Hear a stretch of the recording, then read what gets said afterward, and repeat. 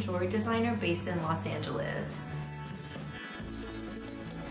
I started my jewelry line, I think two years into moving to Los Angeles from Texas. And it started out as just sketching jewelry that I wish I owned that I had never seen anywhere else and I just couldn't find.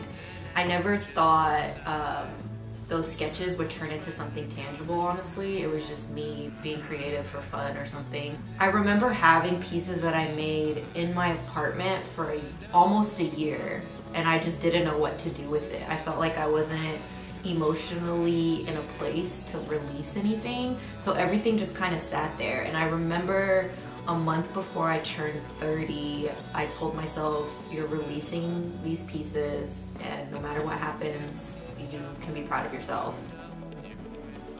I had always wanted to be a writer. Like being a writer was like what I wanted to do and what I was convinced I was meant to do. And then when I moved to Los Angeles, on my downtime, I did find myself like all my downtime was spent writing. Like it was never anything like I'm gonna be a, I'm gonna do jewelry, like I'm gonna make jewelry.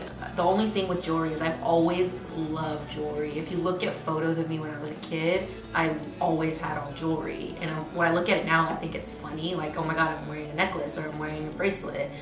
And I think my earliest memory with my grandma was we used, she used to get these orange peelings with a needle and thread and we would make necklaces from the peelings of oranges. And I remember it being like such a fun thing, but it was it was almost like it wasn't a possibility to be a jewelry designer. I didn't know any like Kurdish, let alone Middle Eastern or South Asian like jewelry designers at all. Like I don't I didn't see anything in magazines. I didn't see anything on TV or film or like anything like that. So it's kind of like it was just, it wasn't an option because I didn't know it was an option. I've just always been into fashion and jewelry and it's like been something that I've just like naturally like makes me happy. And so I guess that's where kind of the sketches started. I was just like, you know what, it'd be cool to like sketch some jewelry and see what could happen. I'll be honest, like without Instagram, I probably wouldn't get very many sales. I feel like a lot of like my clients or customers, they all come kind of through the Instagram platform. And so I'm grateful for that in, in that way. But I also know, I just have a, I just feel like Instagram is kind of on its way out a little bit and it's creatives kind of finding uh, ways to drive you know, people that are interested in what they're doing to their websites. It's almost like I don't even think to go to websites as much as I used to because Instagram has made it so easy. You can even like link out through them and just stay on the app. I think Instagram's, unfortunately, it's really important. But also fortunately, I guess, because like Instagram's another way, Instagram and Twitter, like so much news is spread in a way that we would never have seen it before because you look at like TV news outlets or something and they don't they're not talking about anything that we're talking about. Instagram is kind of a platform where like people like me or you or like anyone can kind of like spread a message or spread awareness on something that's like super important and needs to be heard. Like everything going on in Sudan, for example, I feel like without Instagram and Twitter and people speaking out and raising awareness on that, I don't think anyone would even know what was going on, honestly. And that's that's sad, but it's also like I'm glad and grateful that we have a space like this to where you can stay updated on what's going on and not solely rely on three channels. I've always kind of seen what I'm doing as just like a hobby that a lot of people could get into. And it wasn't maybe until this year that I started taking it a little bit more seriously and realizing this could be a career and it could grow if I wanted it to grow. But it was never kind of a hobby before. I've just always really, really been into jewelry. Jewelry's always kind of been a part of my outer identity. I literally tell people if you see me with no jewelry on at all, it means I'm having a really, really bad day. Those days that I don't have one thing on, it's like, dang, she must be going through something, honestly. I just, I love jewelry. Like, I guess jewelry has always been like a hobby in that I love collecting it, I love seeing it. I love traditional jewelry. I love going back to Kurdistan and going to like the bazaar and like seeing like the cheap stuff in the markets, but also like the gold shops. is so inspiring to me as I've gone older as a Kurdish woman and I feel like a lot of like other women in the region maybe could like identify with this, but gold is always yours. Kurdish culture, for example, when the woman gets married, the the groom side family kind of has to give a dowry of gold to her and that gold is always hers. I remember not understanding that when I was like a little younger or understanding like why my mom loved gold. I, I love looking at it, but I was like, mom, like it's not worth like spending that money like on gold. Like why would you do that? But as an adult who has kind of understands the meaning of it for women back there, I think it's like a really cool thing that like the gold is always hers. My first job was I worked retail. I think I was like 17. It was at Wet Seal. The reason why I wanted a job, honestly, I'm the oldest of five and my parents are pretty uh, traditional. They were more strict back then. And so it was never kind of an option to hang out with friends or have like a life outside of school or home.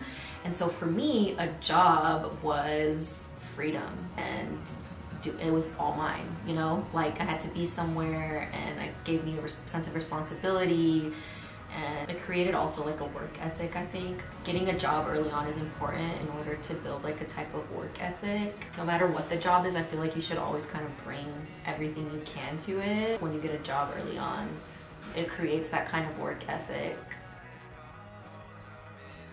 honestly my audience is what drives me. I do think i have like a little bit of a niche audience. I want everything i do to feel inclusive to all people but i also don't necessarily mind that like it's curated all towards women of color because i feel like there's never been brands like that. I feel like there's just so many brands uh, to represent a white audience and you know that's great but like there's like hardly or there, there were like no brands to represent women of color when I was growing up at all. And so when I started this brand, it's not something that I went in thinking, oh, this is how it's gonna be. But naturally, sometimes, like when I'm doing shoots and like uh, for certain pieces, I like to like work with women who um, their culture represents what I'm doing. If I did something like Egyptian, like I like to work with like an African woman, you know, who like feels empowered by wearing an ankh or a Nefertiti piece. But yeah, I do think I have like a niche audience. I'm grateful for it. Some days when I'm just over everything, I think about some of the messages I get from women of color and they're just like, this is the brand that I wish I had growing up or this is the brand that I've been waiting for. I really just started it for myself because that's what I wanted to and it's really cool to see like it resonate with other women who feel the same way about my pieces.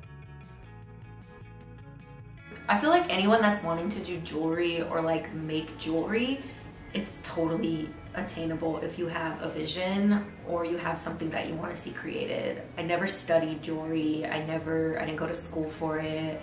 I've taken random classes here and there, which are depending. I feel like no matter where you live, there's a class or two somewhere, whether it's like at a bead store or even like a fabric store might do it that offers some type of class. But there's something about putting yourself out there in a situation in the jewelry making world and like doing something like that enlightens you or opens up something new or inspires you in a different way when you kind of put yourself in a thing in a situation where it's like well i don't know if that's going to benefit me but maybe like something else will come of it. I feel like that's kind of how it's been for me. Just putting myself in a situation that I'm like, mm, do I really want to do this? And then I do it and I'm like, dang, I met some really cool people. Or, oh man, I'm inspired in a way that I didn't even realize I could get inspired. When you see something that you actually made, it really does inspire you to kind of keep pushing and making more. And it's okay if you start out just making it for yourself, you know, like you never know where it might lead or what it might lead to.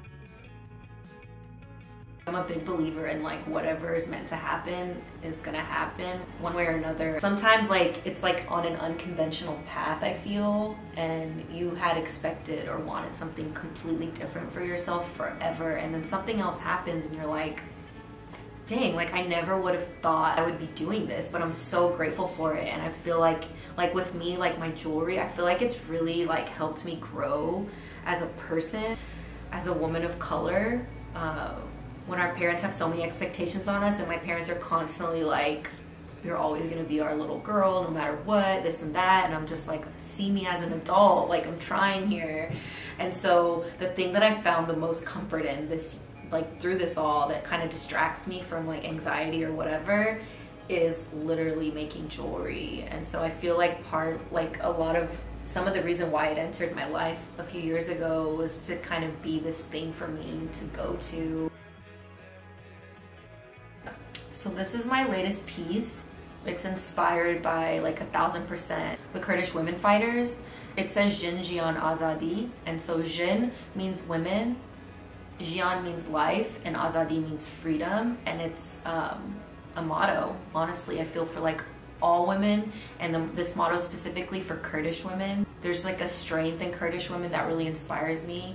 They have a resilience, they're fighters, they're mothers, they're providers, they're caretakers, they're daughters and sisters and like seeing these women fighting on the front lines you know for like the safety and protection of their land and their families and their people it's so inspiring because it's like a level of strength I think that um, I don't know if I have. And it's they're doing that but they're also like taking care of like children and their parents and making meals and smiling the whole time that's what this piece is inspired by I think of them a lot when um, certain things that I feel like I shouldn't be worried about this. Like it's not that serious, you know?